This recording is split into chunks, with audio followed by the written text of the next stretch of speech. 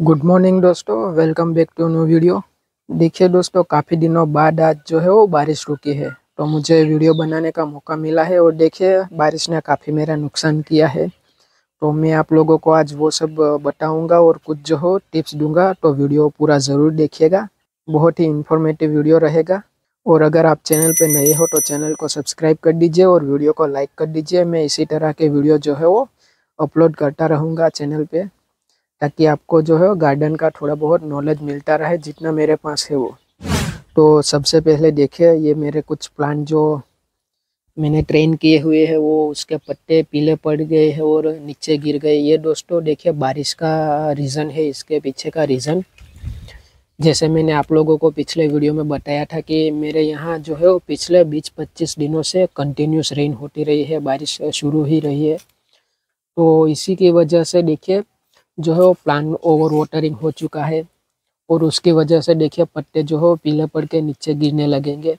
देखिए बारिश का एक बेनिफिट ये है कि प्लांट को बहुत अच्छा ग्रोथ देता है, लेकिन कंटिन्यूस अगर ज़्यादा बारिश रही तो वो प्लांट को नुकसान भी बहुत पहुंचाते हैं। तो देखिए, मेरे यहाँ अभी तक रोट का जो है वो इश्यू ज़्यादा रहा नहीं। एक दो प्लांट ही रोट हुए हैं। जो बड़े प्लांट है, वो तो एक ही रोट हुआ है, लेकिन कुछ सीडलिंग जो है, वो रोट हो चुके हैं। तो मेरा सोयल मीडिया मेरे वेदर के हिसाब से परफेक्ट रहा है इस बार। देखते हैं आगे क्या होता है। अभी तो एक ही महीना बारिश का हुआ है। तो ये देखिए, जैसे ही बारिश रुके और आप गार्डन में, जो घूमे तो आप एक बात का हमेशा ख्याल रखें कि इस तरह के जो पीले पत्ते हैं और जो भी नीचे पोट में इस तरह के सूखे पत्ते गिरे हो तो उसको हटा दीजिए। वहाँ से फंगस जो है वो लग शुरू हो जाती है और दूसरा एक रीज़न ये है कि इसके ऊपर इतने सारे पत्ते पड़े रहेंगे तो जो है वो सोइल में एरिएशन कम हो जाएगी और जो मॉइस्चर उतना का उतना ही रहेगा। अगर पोट आपका खुला रहेगा, कुछ पे रहेगा नहीं तो देखिए दो घंटे बारिश रुकेगी, उसी में जो है आपका सोइल मीडिया अच्छी तरह से ड्राई हो जाएगा, जो है उसका पानी नीचे से निकल जाएगा। अगर ऊपर से ढका रहेगा तो उसको ड्राई होने में काफ़ी वक्त लगेगा। तो आप हमेशा पट्टी की साफ़ सफ़ाई करते रहिए और पत्तों जो प्लान के ऊपर इस तरह के पत्ते पड़े हो, देखिए, इसको आप हमेशा हटाते रहिए। यही जो है वो टीप रोड का रीज़न बनते हैं आगे जाके। तो हमारी, देखिए, ये टीप रोड होती है, यहाँ से टीप रोड हुई थी। अब देखिए तो इसके लिए जो मैंने बताया, आप जो भी पीले पत्ते हो और जो सूखे पत्ते हो, ऊपर से हटाते रहिए। और हमेशा जब भी आपको मौका मिले फंगिसाइड का स्प्रे करते रहिए। तो देखिए, आज मुझे मौका मिला, मुझे इन सभी प्लांट से जो है वो तो ये सारे सूखे पत्ते हटाने हैं। देखिए, इसमें कितने सारे नीचे पड़े हुए हैं। और दोस्तों, ये सिर्फ़ बारिश नहीं है कि एक दूसरा रीज़न भी इस तरह के पत्ते होने का है। तो वो दोस्तों ये है कि देखिए, मैंने आपको एरिएशन के बारे में बताया था। मेरे जितने भी बड़े प्लांट है, वो सब मैंने टेरेस पे अलग अलग कर दिए। तो देखिए, अगर आप प्लांट जो है वो अलग अलग नहीं करोगे तो उसको अच्छा एरिएशन नहीं मिलेगा।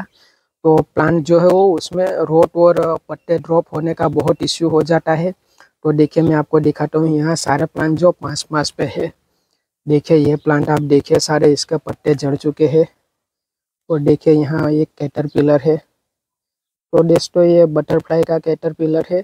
ये प्लांट के पत्ते सारे खा जाते हैं, लेकिन उससे हमें कोई नुकसान होता नहीं। तो मैं जो है, इस तरह के कैटरपिलर हटाता नहीं।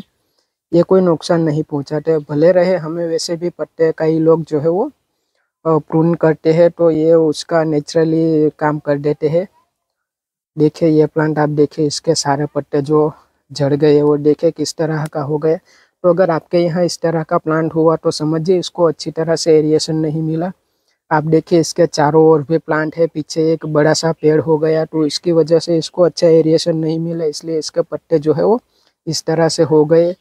देखिए, एक तो बारिश होती है अच्छा एरिएशन ना मिले, इस वजह से देखिए, ये उसका बाजू वाला प्लांट भी तो ये सारे प्लांट में यही इश्यू है, देखिए ये भी।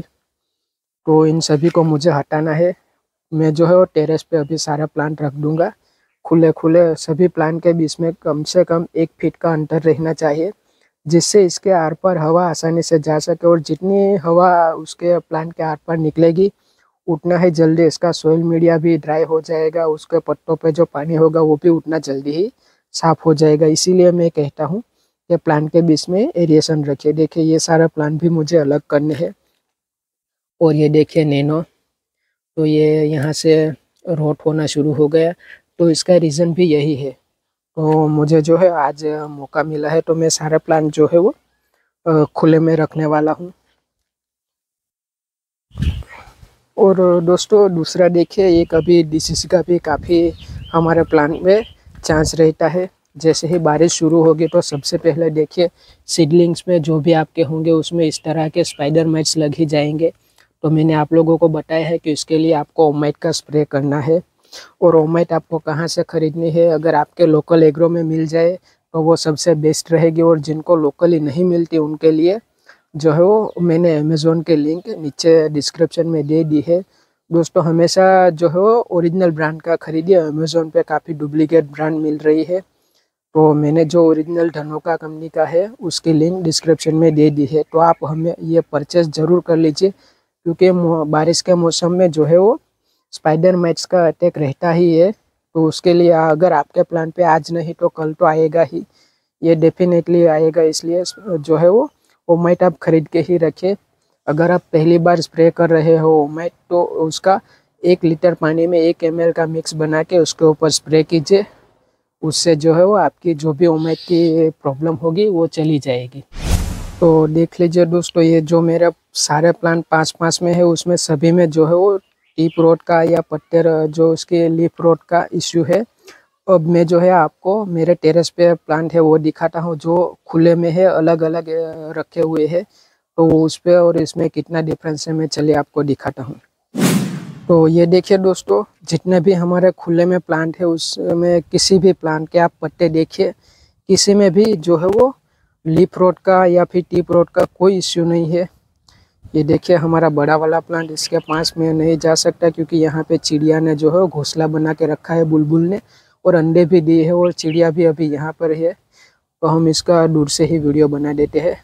पास जाने से शायद वो उड़ जाए, उसको डिस्टर्ब नहीं करते, देखिए। तो आप सभी प्लांट देखिए, किसी में भी टीप रोड जैसा कोई इश्यू नहीं है।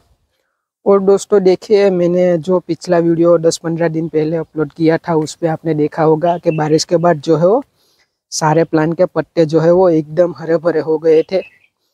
और अगर आज आप देखोगे तो देखिए पत्ते थोड़े जो हो पीले पीले आपको थोड़े लाइट नज़र आएँगे। तो इसका रीज़न यही है कि प्लांट को जो है वो ओवर वाटरिंग हो चुकी है। मतलब बारिश का पानी इतना मिल चुका है कि अब इसको जो है वो पानी ज़रा भी नहीं चाहिए। इसी वजह से पत्ते जो है वो पीले पड़ने शुरू हो गए हैं। तो दोस्तों ओवर वाटरिंग का ये साइन है, इसके तो हम कुछ कर नहीं सकते। अगर आपके पास जो है वो नेट हाउ पोली हाउस है तो उस पर प्लांट रख दीजिए, वरना कोई इश्यू नहीं होगा। देखिए, अब जैसे जैसे इसको पानी मिलता जाएगा प्लांट जो है वो पीले पड़ने शुरू हो जाएँगे। तो यही इश्यू है इसका।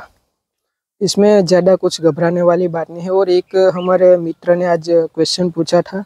देखिए दोस्तों, उनके प्लांट कुछ जो है वो इस तरह से पत्ते रेड कलर के होते जा रहे थे। तो ये भी जो है वो बारिश का इश्यू है।